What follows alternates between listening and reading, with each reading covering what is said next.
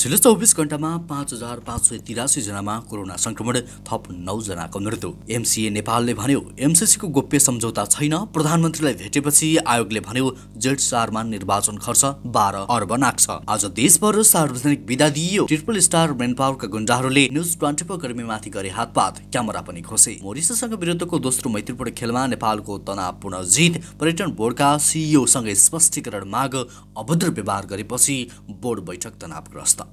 अनिवार्य कोरोना खोप कार्ड विरुद्ध सर्वोच्चमा रेट मुसो दल्ने विप्लवका कार्यकर्ता विरुद्ध प्रहरीमा जायरी लगायतका आज दिनभरका महत्त्वपूर्ण र ताजा ताजा खबरहरू आजको यस भिडियोमा। दर्शकवृन्द चुलबुले मिडिया डट कमको न्युज अपडेटमा तपाईँलाई हार्दिक स्वागत छ। आज पनि केही महत्त्वपूर्ण दिनभरका काम लाग्ने समाचारको साथमा म सन्तोष कठायत उपस्थित भइसकेको छु। पुरा समाचार अत्यन्तै धेरै महत्त्वपूर्ण भएकाले अन्तिमसम्म हेर्नुहोला र समाचारलाई एक लाइक गर्न कमेन्ट गर्न र हौसलाको लागि व्यापक सेयर गर्न नबिर्सिनुहोला। समाचारको सुरुमा कोरोना भाइरसको पछिल्लो अपडेट पछिल्लो चौबिस घन्टामा थप पाँच हजार पाँच सय तिरासीजनामा कोरोना भाइरसको सङ्क्रमण पुष्टि भएको छ भने नौजनाको निधन भएको छ। स्वास्थ्य मन्त्रालयका अनुसार दस हजार सात सय छिहत्तरजनाको पिसिआर परीक्षण गर्दा तिन हजार छ सय सन्ताउन्नजना र छ हजार आठ सय अन्ठानब्बेजनाको एन्टिजेन परीक्षण गर्दा एक हजार नौ सय छब्बिसजना गरी कुल पाँच हजार पाँच सय तिरासीजनामा सङ्क्रमण पुष्टि भएको हो। हाल देशभरमा चौहत्तर हजार पैँसठी सय बत्तीस सङ्क्रमित छन् भने आठ हजार दुई सय सडसठीजना सङ्क्रमणबाट मुक्त भएका छन्। मङ्गलबार थपिएसँगै नेपालमा कोरोना सङ्क्रमितको कुल सङ्ख्या दस लाख अठासी हजार दुई सय एकाउन्न पुगेको छ। त्यस्तै नेपालमा मृत्यु हुनेको सङ्ख्या एघार हजार सात सय बाहन्न पुगेको छ भने आठ लाख एकहत्तर हजार एक सय पैँसठीजना सङ्क्रमणबाट मुक्त भएका छन्। मन्त्रालयका अनुसार हाल देशभरमा त्रिहत्तर हजार एक सय अठहत्तरजना होम आइसोलेसनमा रहेका छन् भने एक हजार चार सय पचहत्तरजना संस्थागत आइसोलेसनमा रहेका छन्। कोरोनाका बिरामी मध्ये दुई सय उनासीजना आइसियू र पचासजना भेन्टिलेटरमा उपचाररत रहेका छन्। त्यसै गरी अब अर्को समाचारतर्फ लागौँ। मिलेनियम च्यालेन्ज अकाउन्ट नेपाल विकास समितिले एमसिसी नेपाल कम्प्याक्ट सम्बन्धी कुनै पनि गोप्य अथवा लुकाइएको दस्तावेज नभएको प्रश्न पारेको छ।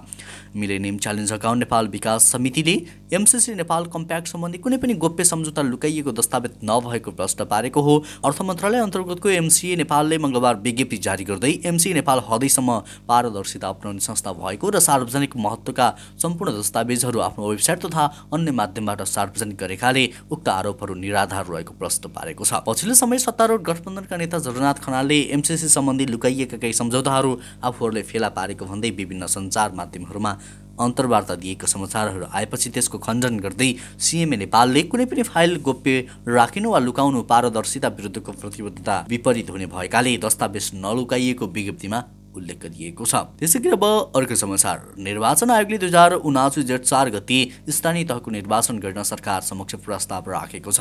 मङ्गलबार दिउँसो प्रधानमन्त्री देव शेरबहादुर देउबा र आयोगका पदाधिकारीहरूबीच छलफल भएको थियो। उक्त छलफलमा आयोगका पदाधिकारीहरूले जेठ चार गति निर्वाचन गर्न सुझाव दिएका हुन्। साथै निर्वाचन आयोगले स्थानीय तहको निर्वाचनका लागि बाह्र अर्ब बजेट आवश्यक पर्ने अनुमान गरेको छ। मङ्गलबार दुई हजार उनासी साल जेठ चार गते बुधबार स्थानीय तहको निर्वाचन एकसाथ गर्ने प्रस्ताव गर्ने आयोगले त्यस्तो अनुमान गरेको हो। आयोगले एकै चरणका निर्वाचन नभए खर्च थप हुने अनुमान गरेको छ। तपाईँलाई जानकारी गराउँ कि दुई हजार चौहत्तर सालमा सम्पन्न भएको निर्वाचनमा आठ अर्ब खर्च लागेको थियो। सात प्रदेशमा निर्वाचन कार्यालय सत्तरी निर्वाचन कार्यालय र सात सय त्रिपन्न निर्वाचन अधिकृतको कार्यालयबाट दुई हजार चौहत्तर र आठ अर्ब बढी भएको भन्दै आयोगले यो पटकको चुनावको अनुमानित खर्च विवरण सार्वजनिक गरेको हो। त्यसै गरी अब विदाको प्रसङ्ग। आज देशभर सार्वजनिक विदा दिइएको छ। सरकारले विदा दिने निर्णय गरेको हो। गृह मन्त्रालयका तामाङ समुदायको सांस्कृतिक पर्व सोनाम लोसारका अवसरमा देशभर सार्वजनिक विदा दिने भएको हो।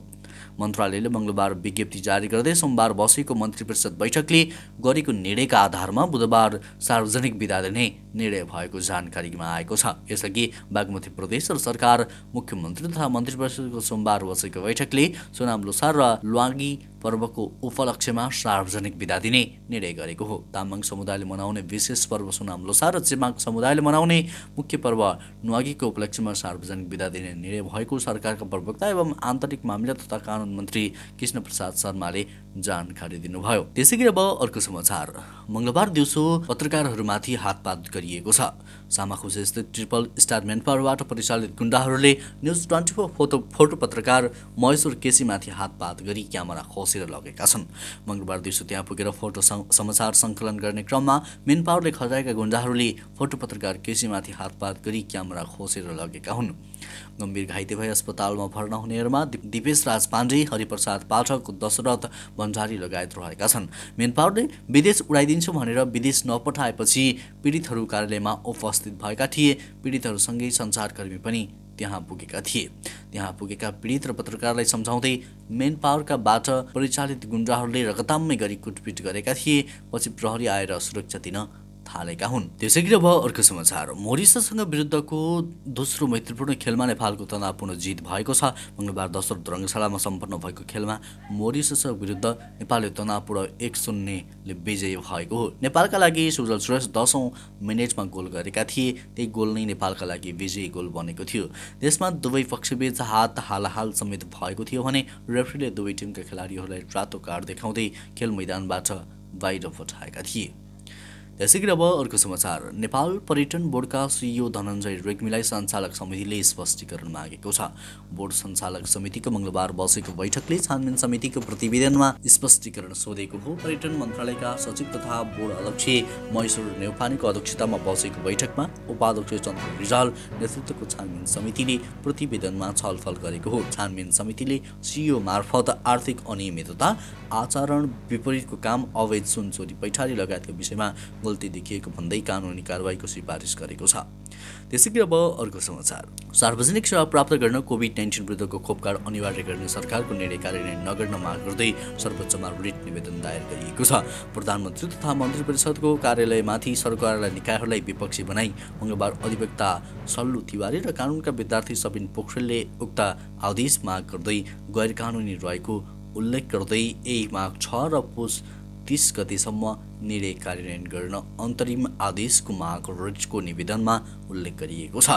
त्यसै गरी अब अर्को समाचार कैलालीको पचमुडिया सब डिभिजन कार्यालय सहायक वन अधिकृत वेशमराज पण्डितले आफूमाथि मोसो दलले नेतृत्व चन्द विप्लव नेतृत्वको नेपाल कम्युनिस्ट पार्टीका कार्यकर्ताहरू विरुद्ध जाहेरी दर्ता गरेका छन्। पीडितले मङ्गलबार जिल्ला प्रशासन कार्यालय कैलालीमा पुगेर सार्वजनिक स्थानमा भएको अभद्र व्यवहारको मुद्दामा किटानी जाहेरी दर्ता गर्दै दोषीमाथि कानुन बमोजिम कारवाहीको माग गरिएको छ। जिल्ला प्रहरी कार्यालयका प्रवक्ता प्रहरी नायब उपरीक्षकले वेद प्रसाद जोशी जो हुनुहुन्छ सहायक वन अधिकृत पण्डितले मोसो दल्ने नेत्र विक्रम चन्द विप्लव नेतृत्वको नेपाल कम्युनिस्ट पार्टीका कार्यकर्ताहरूलाई कारवाहीको माग गर्दै जाहेरी दर्ता गरिएको छ।